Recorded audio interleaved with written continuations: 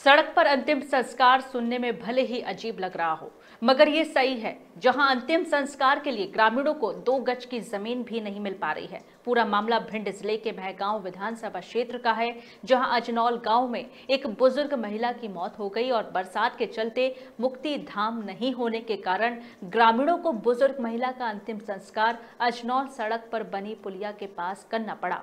मामले को लेकर ग्रामीणों ने शासन, प्रशासन से मुक्ति धाम बनवाने की गुहार लगाई है। ग्राम अजनौर में शांति धाम न होने के कारण लोग परेशान।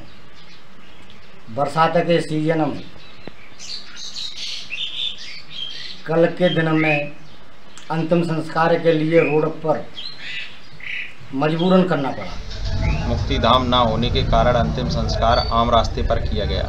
यह बड़ा दुर्भाग्यपूर्ण विषय है। आज भी पचहत्तर साल आज़ादी के हो जाने के बाद भी आज लोग आज भी लोग मूलभूत सुविधाओं के लिए तरस रहे